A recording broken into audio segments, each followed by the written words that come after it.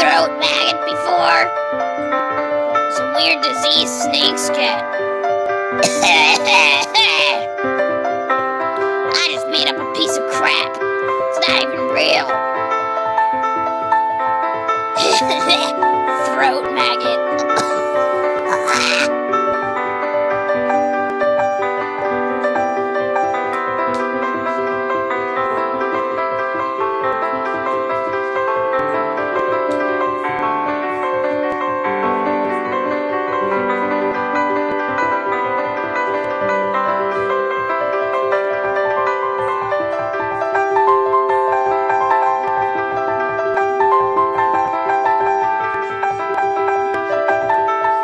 Shit, I'm doing really good.